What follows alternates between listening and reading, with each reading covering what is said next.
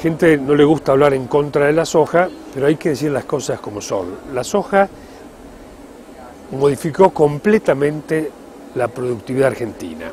Si bien al principio mucha gente hizo mucha plata, porque logró resultados eh, muy buenos y precios espectaculares, pero también logró que la gente se vaya del campo. El productor que hacía, que trabajaba su propio suelo, pasó a ser un arrendatario o un arrendador de campo. Sus hijos en el pueblo ni saben dónde queda el campo. Fueron expulsados del sistema. Vos pensás que en la pampa húmeda está estimado que el 75 al 80% del manejo del suelo lo hacen los sin tierra, o sea, los contratistas. Y los contratistas hacen lo que pueden. Eh, ¿Por qué? Porque cada vez le cobran mayores alquileres. No es que yo defienda a unos ni otros, ¿no? Pero yo me pongo en la posición de ellos. Le cobran alquileres muy altos los dueños de la tierra. Entonces ellos hacen lo que pueden. No le exigen ya, qué sé yo, determinadas rotaciones o reposiciones o labranzas.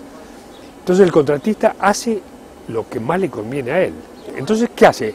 Hace lo que puede sino porque, porque además nosotros los argentinos, como somos muy vivos, hemos modificado hasta la propia ley de conservación del suelo, donde los arrendamientos estaban en esa ley muy bien pensados que deberían ser por un periodo no menor a cinco años. ¿Para qué? Para que, el, que si arrienda alguien el suelo ese, la tierra esa, le ponga las mejoras para que él las pueda aprovechar a lo largo de los años. ¿Y qué inventamos contra esa ley? Los contratos accidentales de trabajo por un año. Entonces, toda la pampa húmeda está alquilada por contratos accidentales. Entonces, todo el suelo está condenado, como dicen algunos que saben mucho más que yo de esto, estamos iniciando la desertificación de la pampa húmeda.